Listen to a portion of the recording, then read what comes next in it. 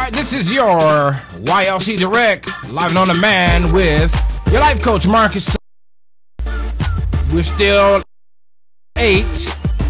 I'm trying something new instead of recording an entire hour, hour and 15 minutes. We're trying to do segments of 10 minutes or 12 minutes or so in hopes that as we upload them to YouTube and if you're busy or whatever the case may be, you can subscribe to us on YouTube, Salette USA TV, or follow us on Twitter, Salette USA TV, or just inbox us for all information. Maybe you could just like our page, but if you inbox us on Facebook, we are Your Life Coach celebrating you and your life, or Your Life Coach promoting you. That's right, on Facebook, it is Your Life Coach promoting you, or Your Life Coach celebrating you. Like our page, the Salette USA TV I Network on Facebook. And as I said, follow us on Twitter. So we're talking about the chemistry of the mind and economic power. And I'm going to continue to read. I had to share a tidbit with you there. Here we are. Let's go.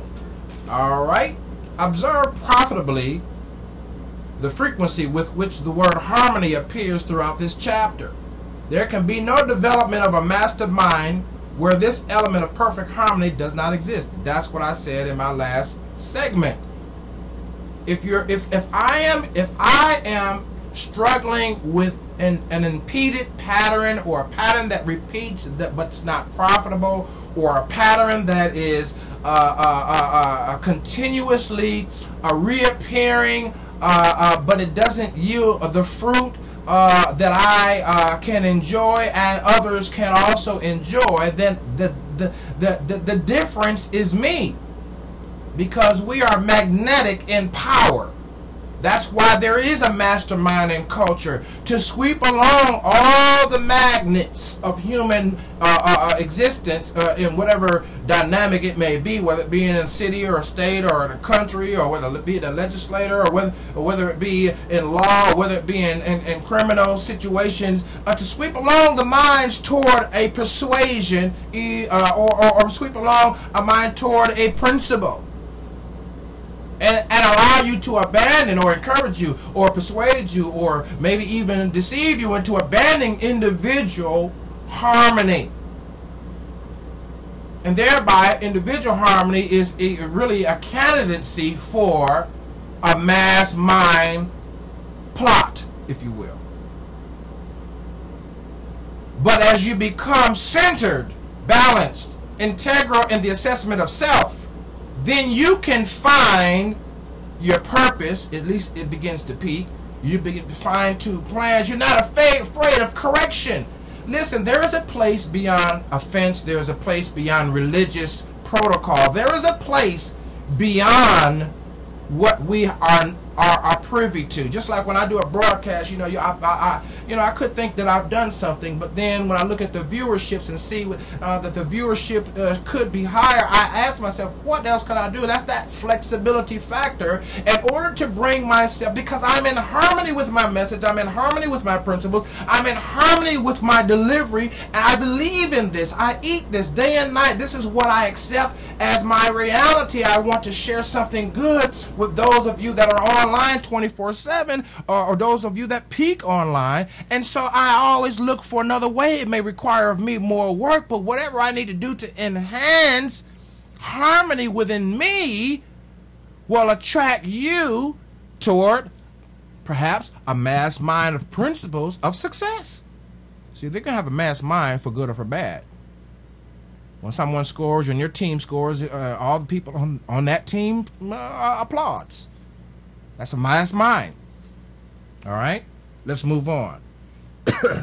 there can be no development of a mastermind where the element of perfect harmony does not exist. The units of one mind will not blend with the units of another mind until the two minds have been aroused and warmed, as it were, with a spirit of perfect harmony of purpose. Well, we talked about it last week. This is why sex is so prevalent.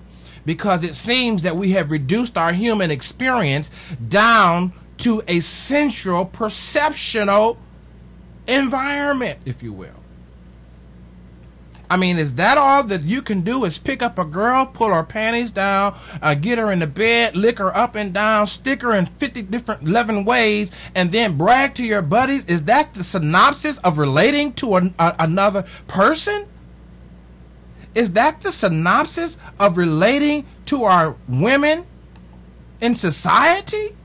And even the women have gotten on the bandwagon as I, I was listening to a, uh, uh, uh, Crunk for Christ radio, uh, and the women have gotten on a bad. Not I didn't hear this on Crunk for Christ radio, but it kind of reminded me of some, some, some stats about the home being seventy percent or more uh, of single women. The women have gotten on their bandwagon too by which many of them say, I don't need a man. It's not that you have to be in a relationship with a man and need a man. It's that it is evident that the perfect, the spirit of perfect harmony regarding your interaction with men has been broken, and thereby impede your progress to move forward in your in your efforts to coexist with men in an intimate setting. And we're not talking about sex yet.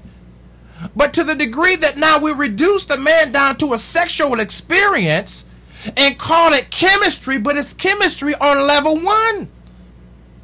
It's not chemistry beyond that which is flirtatious and perhaps lustful and perhaps full of uh, uh, uh, uh infatuation. It's not. It's not. It's not anything beyond that. Because if it was, the chemistry or the harmony would be intact.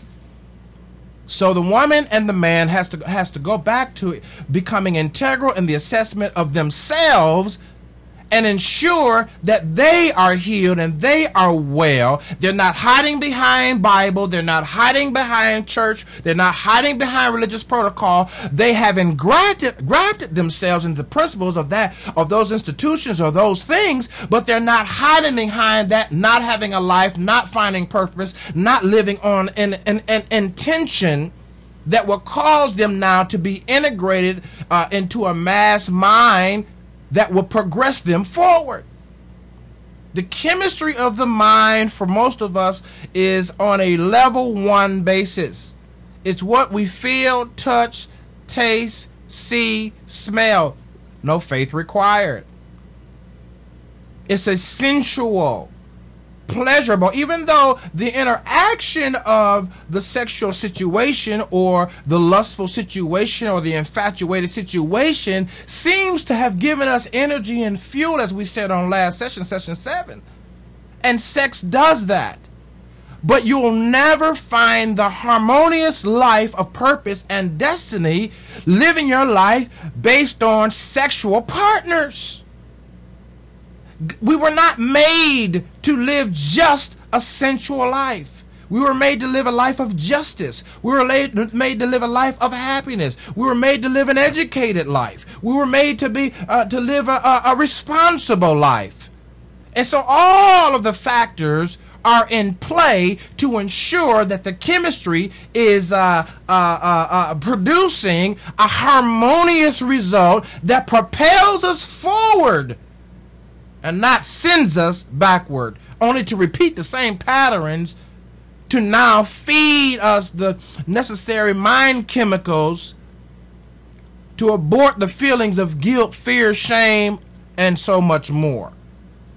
All right? There can be no development of mastermind, the units, and so forth and so on. The moment two minds begin to take divergent roles of interest, the individual units of each mind separate, and the third element, the mastermind that grew out of the friendly or harmonious alliance, will dis- disintegrate. And I might add, then you become now a candidate for the cultural mass mind. Our kids are, are, are, are candidates for that all the time. I got to go to break. This is your life coach, Marcus Salette, on your life coach success for your process toward your success. I'll be right back.